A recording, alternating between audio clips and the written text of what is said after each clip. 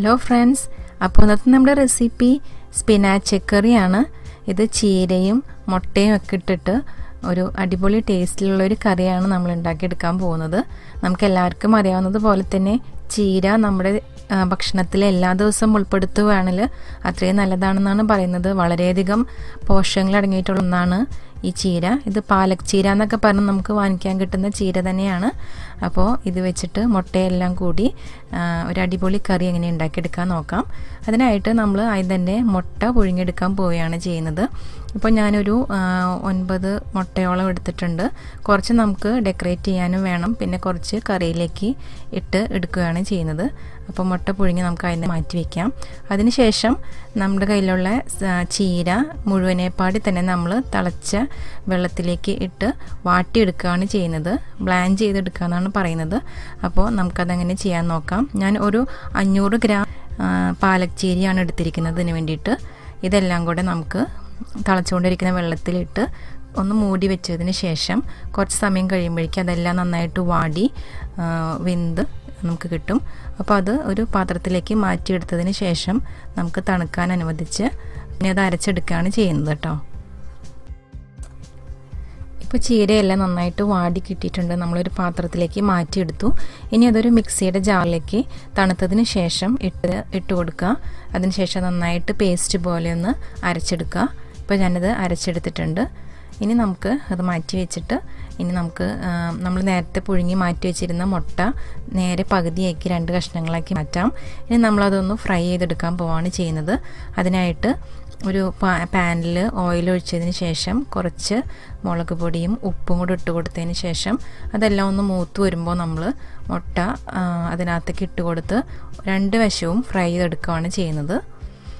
അപ്പോൾ ഒരു വശം ഇട്ട് കൊടുത്തതിന് ശേഷം നന്നായിട്ട് ഫ്രൈ ചെയ്ത് വരുമ്പോൾ തിരിച്ചിട്ട് അപ്പുറത്തെ വശം കൂടെ ഒന്ന് ഫ്രൈ ചെയ്തെടുക്കാം. അപ്പോൾ ഇങ്ങനെ ചെയ്തെടുത്തിട്ട് ചേർക്കുമ്പോഴായിരിക്കും കറിക്ക് ഈ മുട്ടയ്ക്കെല്ലാം ഒരു പ്രത്യേക ടേസ്റ്റിൽ നമുക്ക് കിട്ടുന്നത്. ഡയറക്റ്റായിട്ടും ചേർക്കാം. പക്ഷേ ഇങ്ങനെ ഒന്നും ചെയ്തെടുക്കുമ്പോൾ ഇതിന് കുറച്ചും കൂടെ ടേസ്റ്റ് കറിക്ക് കിട്ടുന്നതായിരിക്കും. അതിനാണ് നമ്മളിങ്ങനെ ചെയ്തെടുക്കുന്നത്. ഇപ്പോൾ മുട്ടയെല്ലാം നന്നായിട്ട് നമുക്ക് ഫ്രൈ ചെയ്ത് കിട്ടിയിട്ടുണ്ട്. ഇനി അതൊരു പാത്രത്തിലേക്ക് മാറ്റി വെക്കാം. ഇനി നമുക്ക് കറി എങ്ങനെ ഉണ്ടാക്കിയെടുക്കാൻ നോക്കാം. അതിനായിട്ട് ഞാൻ സെയിം പാൻ തന്നെയാണ് ഉപയോഗിച്ചത്. ഇതിനകത്തേക്ക് രണ്ട് ചെറിയ കഷ്ണം പട്ട മൂന്ന് ഗ്രാമ്പൂ പിന്നെ മൂന്ന് ഏലക്ക രണ്ട് ബേ ലീവ്സ് പിന്നെ ചതച്ച് വെച്ചിരിക്കുന്ന ഒരു ടീസ്പൂൺ ഇഞ്ചി ഒരു ടീസ്പൂൺ വെളുത്തുള്ളി പിന്നെ മൂന്ന് നാല് പച്ചമുളക് നെടുകെ കീറിയത്. ഇതെല്ലാം കൂടെ ഒന്ന് പച്ചമണം മാറുന്നത് വരെ നന്നായിട്ടൊന്ന് വഴറ്റിയെടുക്കുകയാണ് ആദ്യം ചെയ്യുന്നത്. അതിനുശേഷം നമുക്ക് രണ്ട് സബോള ചെറുതായിട്ട് ചോപ്പ് ചെയ്ത് ഇട്ട് കൊടുക്കാം. ഈ സബോളയും നന്നായിട്ടൊന്ന് വാടി വരുമ്പോൾ നമുക്ക് മഞ്ഞൾപ്പൊടി ചേർത്ത് കൊടുക്കാം.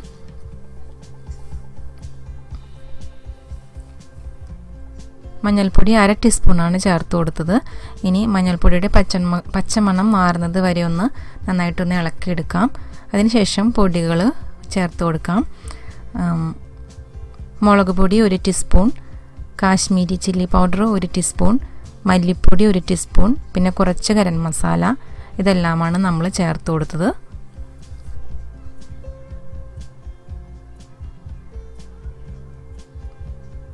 ഇതെല്ലാം കൂടെ നന്നായിട്ടൊന്ന് ഫ്രൈ ചെയ്ത് വരുമ്പോൾ നമുക്ക് ടൊമാറ്റോ ചേർത്ത് കൊടുക്കാം. തക്കാളി രണ്ടെണ്ണം ചെറുതായിട്ട് ചോപ്പ് ചെയ്തതാണ് ചേർത്ത് കൊടുത്തത്. ഇനി മസാലകളുടെ പച്ചമണ എല്ലാം മാറി തക്കാളിയെല്ലാം നന്നായിട്ട് സോഫ്റ്റായിട്ട് വെന്ത് വരുന്നത് വരെ നമുക്ക് ഒരു പാത്രം മൂടി വെച്ചിട്ട് നമുക്ക് വേവിച്ചെടുക്കുകയാണ് ചെയ്യേണ്ടത്. ഇപ്പോൾ ഇതെല്ലാം നന്നായിട്ട് വെന്ത് സോഫ്റ്റായിട്ട് വന്നിട്ടുണ്ട്. ഇനി നമുക്ക് നമ്മൾ നേരത്തെ അരച്ച് വെച്ചിരിക്കുന്ന പാലക് ചീര പേസ്റ്റാക്കി വെച്ചിരിക്കുന്നത് ചേർത്ത് കൊടുക്കുകയാണ് അടുത്ത് ചെയ്യാൻ പോകുന്നത്.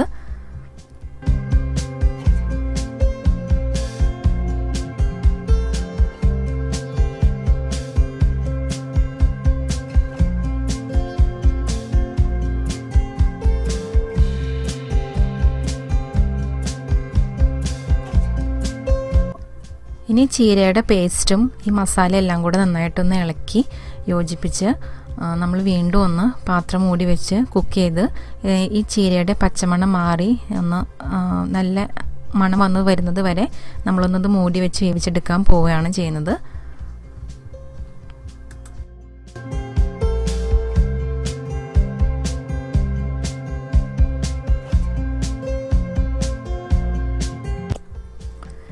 ഇപ്പോൾ ചീരയും എല്ലാം കൂടെ ചേർന്ന് നന്നായിട്ടൊന്ന് കുക്കായിട്ട് വന്നിട്ടുണ്ട്.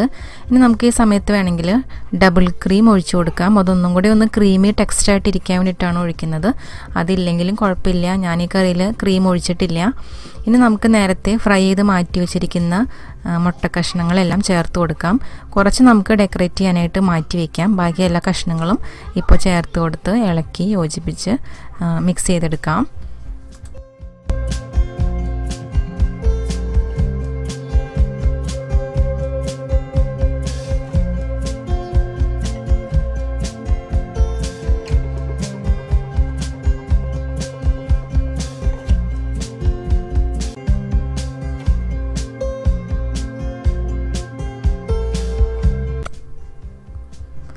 അപ്പോൾ നമ്മുടെ ചീര മുട്ടക്കറി റെഡിയായി കഴിഞ്ഞു. ഇത് വളരെയധികം പോഷകങ്ങൾ അടങ്ങിയിട്ടൊരു കറിയാണ്. അതുപോലെ തന്നെ വളരെ ടേസ്റ്റിയുമാണ് ഇത് നമുക്ക് ചപ്പാത്തിയുടെ കൂടെയും പൊറോട്ടയും നാൻ ഇതിന്റെ കൂടെയൊക്കെ കഴിക്കാൻ പറ്റിയൊരു അടിപൊളി കറിയാണ്.